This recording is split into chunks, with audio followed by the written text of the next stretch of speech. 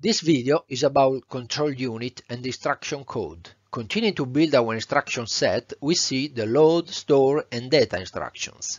We provide a very nice simulation of the load instruction in the Scott CPU, and for every instruction we design the hardware circuit which allows the execution of the instruction itself. So, if you are ready, let's get started.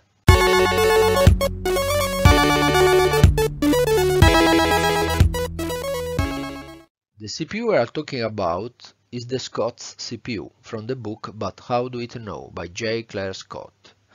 An instruction code is a group of bits that instruct the computer to perform a specific operation. An instruction can be divided in two parts. The first part is called opcode and the second one address code because generally define the addresses in which you can find operands or data. In the Scott CPU, we select one of our four registers. In order to control the four register, we have to act in the enable input to put the byte on the bus and in the set input to acquire the byte from the bus. As you can see, we have 4 bits opcode in which you can have a maximum of 16 different combinations or kind of instructions. In Scott's CPU case, we have 15 different kind of instructions. We already saw the 8 ALU instructions and now we add the not ALU instruction to our set. In this video we see some instructions which don't involve the ALU, so first bit at 0, as the load, store and data instructions. Here you can see the opcode of the not ALU instructions and the address code to locate our four registers R0 to R3. The first not ALU instruction we see is the load instruction which has opcode 0000. Load instruction is used to load a byte from RAM to a register. In this case the instruction states load R3 from RAM bin address in R2 or more generally load RB from RAM bin address in RA. Remember, we have already built some important components of Scott's CPU, the RAM memory, the ALU, and we are building the control unit. At the heart of the control unit there is the stepper, which gives the right sequence to all the operations. As we saw in previous video, we have six steps. In first three steps, we put on the bus the instruction address, increment it by 1 and fetch the instruction in the instruction register. In the second three steps, steps 4, 5 and 6, we execute the instruction. So this is a simulation of the load instruction. As we said in previous video, you use the first three steps to fetch and increment the instruction address register and steps 4, 5 and 6 to execute the load instruction. We remember that the memory is partly dedicated to the program and partly to the data. First, we put on the bus the instruction address register content and from there to the memory address register so now we have the RAM address of our instruction selected. Simultaneously, being the instruction address on the bus, we activate bus 1 and being opcode to 000 by default, we perform an add operation incrementing by 1 the address of the instruction and putting the result in the accumulator register. As we said in AR, there is the instruction address and we start to fetch the instruction in the IR or instruction register, where we decode it. In our case, it states to load R3 from RAM being the address in R2. The last part of the first three steps is the moving of the next instruction address from accumulator to IAR. In this way, we memorize the next instruction address in IAR. Once the instruction in steps 4, 5 and 6 is decoded, we start the execute part. We have first to put the address in R2 on the bus to MAR for selecting the right RAM cell. Secondly, we put on the bus the RAM cell content and we load it on R3. So this is how everything should work. But now we have to design the proper circuit. Now we see how to execute the load instruction in steps 4 5. Here you see the logic circuit we need to execute the load instruction.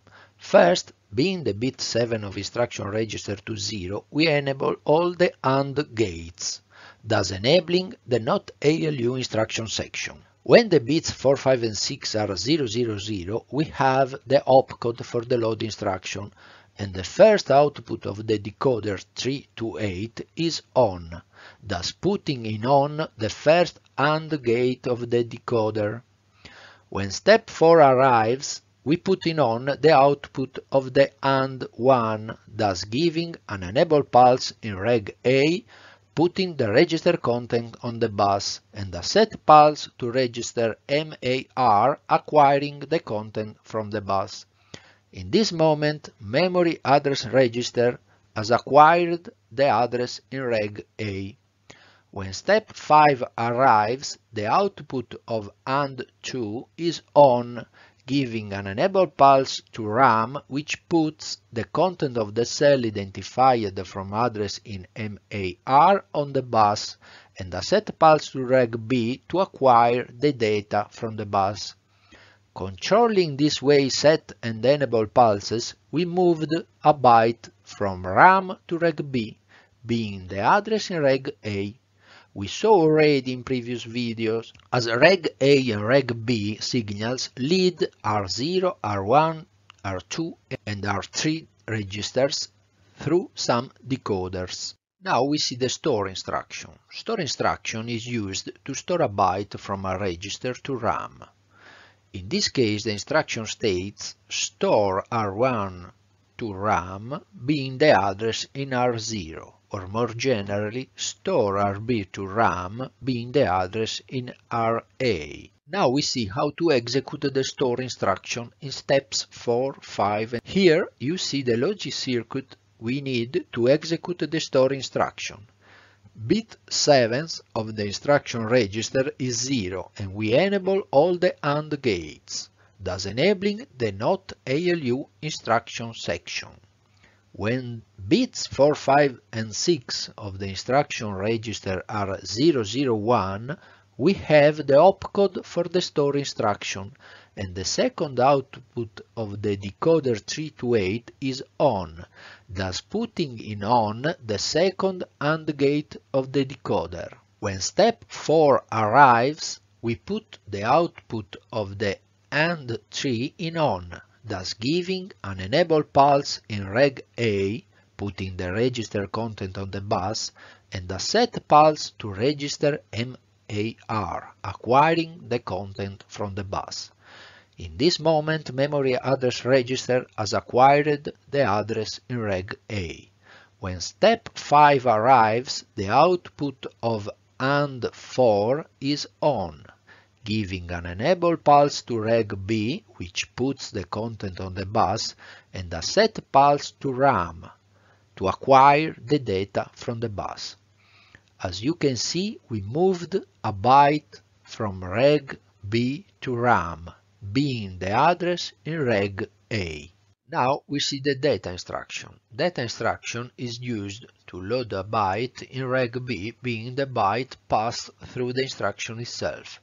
In this case, the instruction states load byte 00010001 in R1 or more generally load the byte X in RB.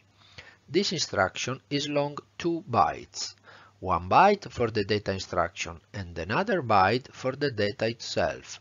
So for the byte we want to load in R1. So in the program we see two bytes like this and we have to know that next to the data instruction we have the data byte to be loaded in the register.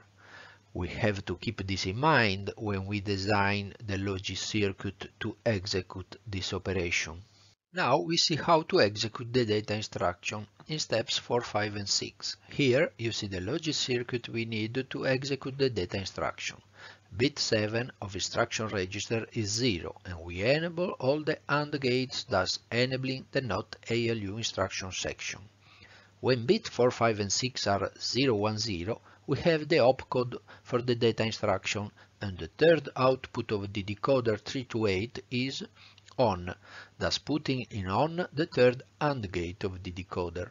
When step 4 arrives, we put in on the output of the AND 5, thus giving an enable pulse in both bus 1 and IAR. The content of IAR now on the bus is the address of the next instruction, so in this case it is the address of the byte we want to put in reg B. Remember, in a RAM cell there is the data instruction and the next RAM cell there is the byte to be loaded. So IAR now on the bus contains the address of the byte to be loaded. For this reason we give a set pulse to MAR to open the right cell.